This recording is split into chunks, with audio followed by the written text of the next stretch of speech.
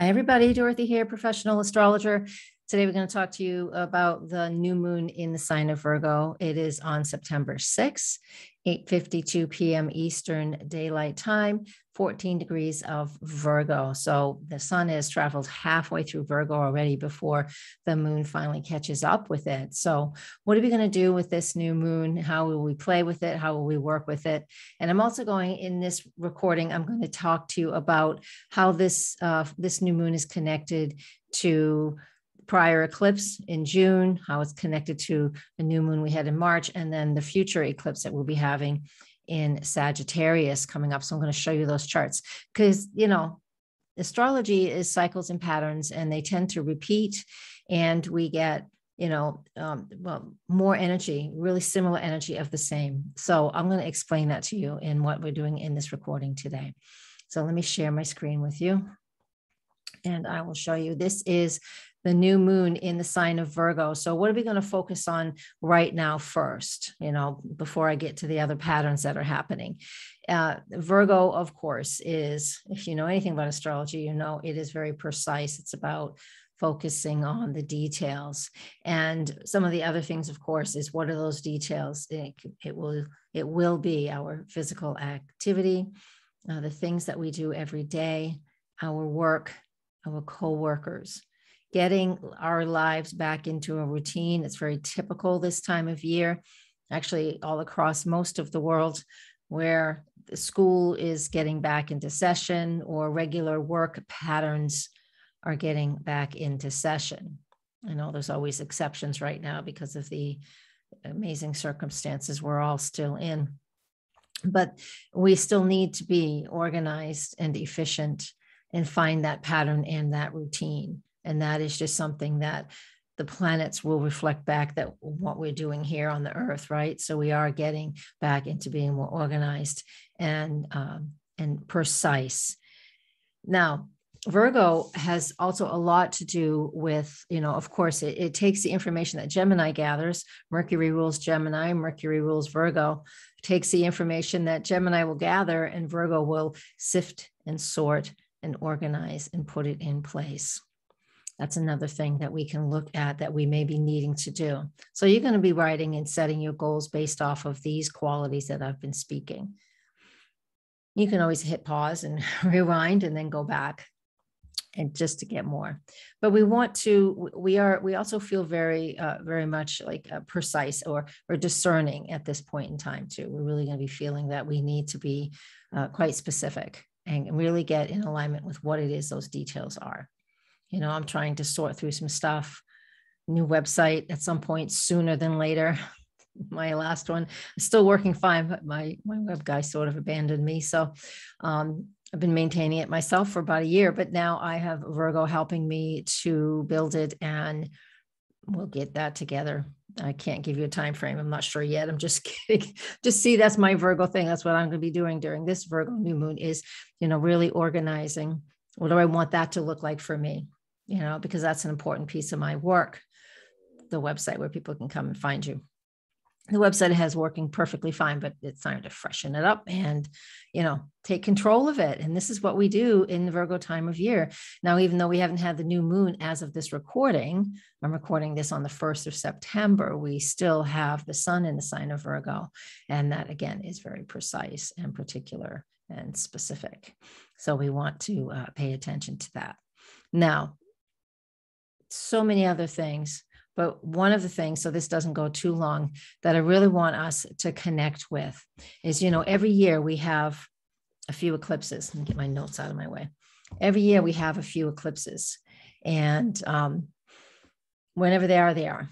So we had an eclipse on, on the 10th of June and that was at 19 degrees of Virgo. I mean, 19 degrees of Gemini. This new moon is makes a 90 degree angle to that eclipse. And so I want you to look at this chart. Don't get overwhelmed. I'm going to show you this right now. Here is a chart of here's four new moons, all right, over approximately not quite a year. So the, we have four charts here, four new moons. Two of these are eclipses. I'm going to use my I'm going to use my uh, my drawing tool. Hopefully that will translate through in this recording. So new moon in Virgo, that was on March 13th. All right. It was at 23 degrees. I said new moon in Virgo. I meant new moon in Pisces. That was on March 13th. All right. New moon, 23 degrees of Pisces on March 13th. June 10th. This is 90 degrees from the from the first new moon. June 10th, new moon eclipse. So basically a solar eclipse at 19 degrees of Gemini. All right. Now, physically, they look a little far apart, but they're all 90 degrees. This is approximately 90 degrees. The new moon that we have, where is it? Right here on September 6th, is also is 90 degrees, give or take a few, uh, an orb, that orb, 90 degrees from the new moon eclipse on June 10th. And it's opposite the new moon that we had in March. All right. So there's that. And then coming up, here's the next, the last new moon of the year.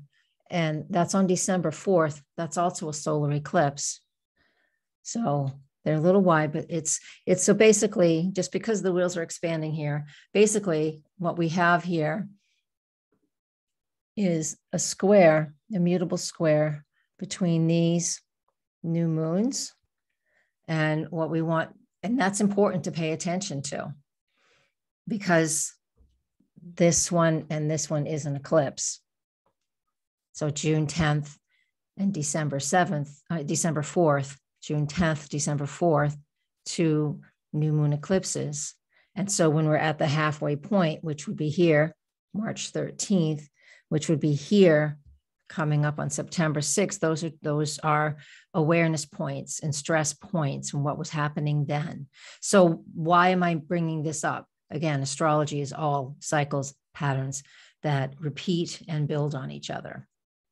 Repeat and or build on each other. So look back to this point in March. What were you doing?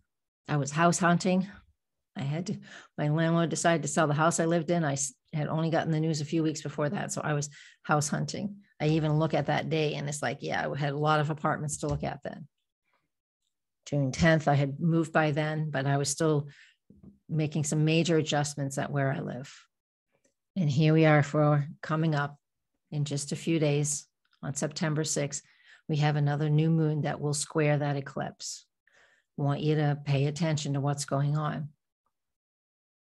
It'll be some sort of adjustment. Squares represent stress or attention, just enough pressure so you're being made aware of what adjustments you need to make.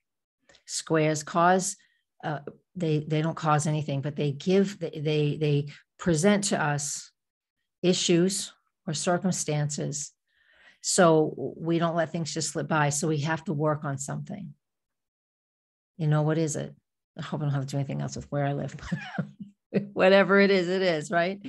And it could be something completely different, but it's typically going to run the same theme. May not have anything to do with my physical location where I live. Emotionally, it could be, you know, the insecurity of all of a sudden I got to find a new home and that type of insecurity. What does that trigger? You know, so I could be asking myself that why do I feel insecure about X, Y, or Z? You can do the same thing. So that's your job. Find out what it is you were working on, what came to the surface, what was happening for you in that March time period. Here it is, that March 13th. Even back then, I talked about how that March, that new moon in Pisces, was was at a square aspect to the eclipse on June 10th. And I mentioned that way back when, six months ago. I did mention that but needless to say, nobody remembers. We have short term memories these days. I know I do. I, I, want you to pay attention to this. And so that's why I brought this up. I want you to look at, um, besides setting new goals and new intentions based off of, you know, Virgo qualities, again, the details, being precise, being grounded, getting information all lined up, getting processes or something all lined up for yourself. And, you know, Virgo is a very strong, I didn't mention before, but it's very strong in our own health and wellness. I think I did mention that. Could be that, you know, this is something relating to your own health and wellness, your diet, or you know, whatever that is for you. You need to change something, or you need to feel better, or you just whatever it is. The preciseness of that Virgo, that new moon in Virgo. I want you to pay attention to that. So definitely set those intentions. But on that second level, on that other layer, I want you to think about what it is that you have been working on since that date in March. And then what did the new moon eclipse on June 10th bring up? What did it show you? Because sometimes we have to get away from the new moons before we can really see what it is we've worked towards or working towards and what we're manifesting. So give yourself that space, give yourself that that time to really sit with it. All right. So that is what I want you to do if you're interested in working with the energies of what the sky is telling us, what the planets are telling us. And then I picked a card. I love this deck. And for more information like this, I have my Patreon group. It's a membership thing. You guys know what Patreon is, I think. And um, I recorded something completely different for the sort of almost different, but a lot more additional information. And that was published day before yesterday on my Patreon group. So come join me there. There's different levels for whatever it is you like. If you have any questions, just ask. So this deck is just fantastic. See if I can get the light not to shine off it. There we are by Denise Linn and Nature Spirit. It's really beautiful. I got the Trickster, so I'm not sure what that's about. I have to pay attention. That was probably for me watching the watching what's going on around me.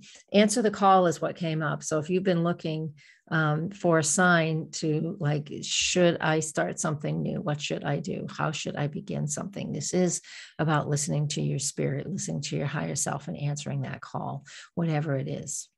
All right. Meditate on it think about it, sift and sort through the information by using that new moon in Virgo, by engaging the new moon that we had way back in March in Pisces, which is our spirit, our higher self, our hopes, our dreams. By listening to the information that came through when we had that new moon solar eclipse. A solar eclipse is a new moon on June 10th. What was the messages you received then? all right and how can you work with it now and and take it to the next level because the the new moon the new moon eclipse that we have in december so three months from now that will be squaring today's this moon new moon it'll be opposite the eclipse from june and it's in sagittarius so that's about speaking our truth and sharing our knowledge exploring playing all of those things so we've got a lot with this new moon, even though it's a simple little Virgo new moon, there is a lot to it. Plus, we have a lot of other things going on in September. And so, again, I do a weekly thing with Patreon, a weekly thing, so you can catch up with, keep up with all of that. But we do have an awful lot going on in September, and tons of planets are retrograde. I just created a video on that. I'll put that in the link it, sh- it should just follow right after this one. I'll make it the next video after this one so you can catch that if you like. That's about 30 minutes long. The rest of the new moon forecast is on Patreon and we go through the houses. So, so you can see where this new moon is and we go through each of the houses to give you additional information. All right, I'm going to leave you everybody with that. Thank you. And please comment, like, and share. You know the routine. Blessings. Namaste.